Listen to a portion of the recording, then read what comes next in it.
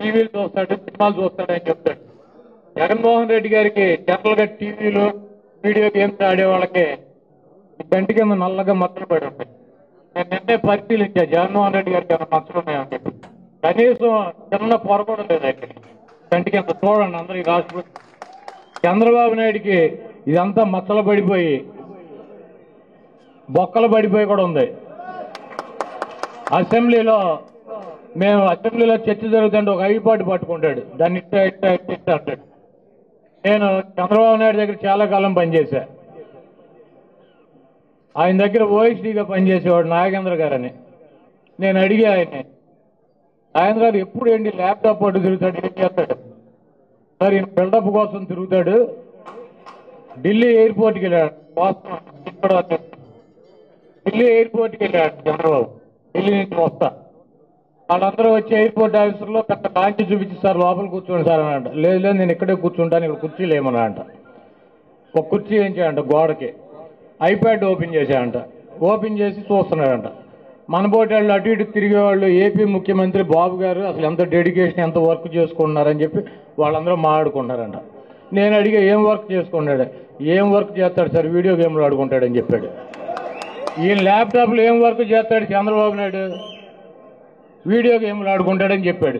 ఆయన ఆడుకున్నటువంటి వీడియో గేమ్లు జగన్మోహన్ రెడ్డి గారు ఆడతాడని చెప్పి ప్రచారం చెందాడు వాళ్ళ కాబట్టి చంద్రబాబు నాయుడుకి ఉచ్చమో నీచమో లేదు.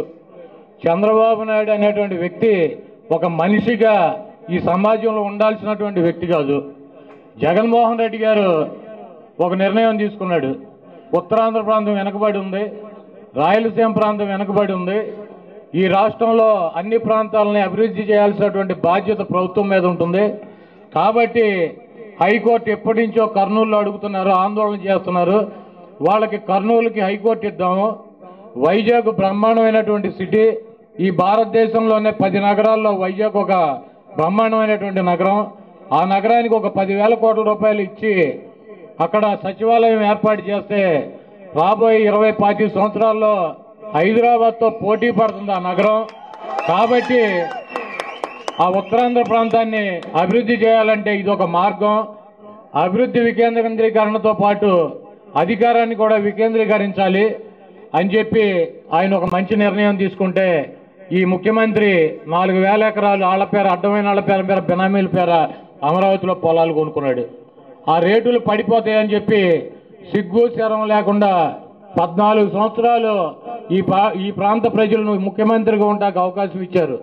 పది సంవత్సరాలు ప్రతిపక్ష నాయకుడిగా ఉంచారు. ఈ రోజు ఐదు సంవత్సరాలు మళ్ళీ ప్రతిపక్ష నాయకుడు ఉండడానికి అవకాశం ఇస్తే సిగ్గు శరం లేకుండా జగన్మోహన్ రెడ్డి గారు మూడు రాజ్యాలను ప్రకటించినటువంటి పది నిమిషాల్లో ముందు వెనక కూడా చూడకుండా ప్రెస్ మీట్ పెట్టి అమరావతి మారిస్తే నేను ఊరుకోను. నీ పర్మిషన్ తీసుకోవాలా చంద్రబాబు?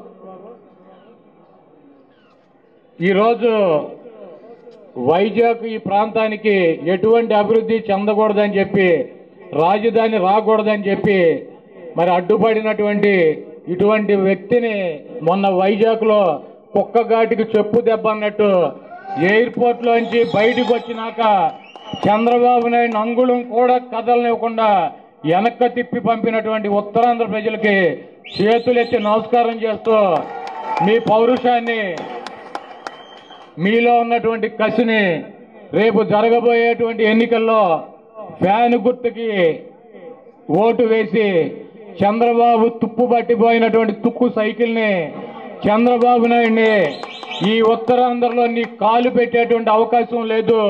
నువ్వు ఇంకొకసారి ఉత్తరాంధ్ర రావాలని చెప్పి కనుక ప్రయత్నం చేస్తే నిన్న ఈసారి పంపించడం కాదు తుక్కు తుక్కుగా కొట్టి పంపిస్తామని చెప్పి చంద్రబాబు నాయుడికి మీ యొక్క ఆవేశాన్ని కానీ మీ బాధను కానీ ఓటు రూపంలో మీరు చూపించాలని చెప్పి మీ అందరినీ కోరుతూ అదేవిధంగా ఈ సభా వేదిక మీద ఉన్నటువంటి మరి నాయకులు ఎమ్మెల్యేలు ఉన్నారు ఇన్ఛార్జీలు ఉన్నారు నియోజకవర్గ స్థాయి నాయకులు ఉన్నారు మండల స్థాయి నాయకులు ఉన్నారు.